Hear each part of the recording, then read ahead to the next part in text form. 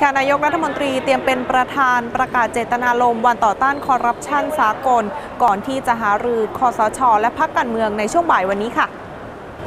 ช่วงเช้าวันนี้ที่ศูนย์แสดงสินค้าและการประชุม Impact เมืองทองธานี จังหวัดนนทบุรีพลเอกประยุทธ์จันโอชา นายกรัฐมนตรีและหัวหน้าคณะรักษาความสงบแห่งชาติหรือคอสช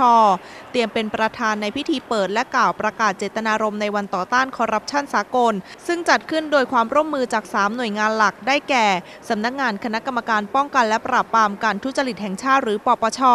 สำนักงานคณะกรรมการป้องกันการทุจริตภาครัฐ หรือ ปปท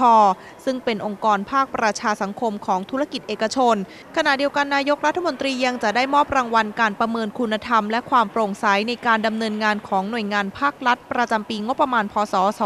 2561 หรือ ITA Award จำนวน 6 รางวัล และรางวัลการแข่งขันกิจกรรมเดินวิ่งกู๊ดกายลัน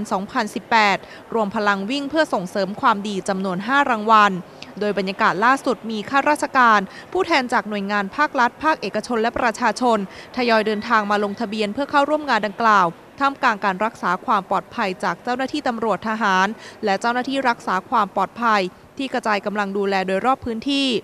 โดยผู้เข้าร่วมงานทุกคนจะต้องผ่านจุดตรวจเครื่องสแกนวัตถุต้องสงสัย และรับการตรวจกระเป๋าจากเจ้าหน้าที่ตำรวจ EOD ก่อนเข้าไปภายในงานด้วย ทั้งนี้หลังจากเสร็จสิ้นภารกิจในช่วงเช้า นายกรัฐมนตรีจะเดินทางไปเป็นประธานการประชุมที่แจงแผนและขั้นตอนการดำเนินการทางการเมือง เพื่อนำไปสู่การเลือกตั้งทั่วไป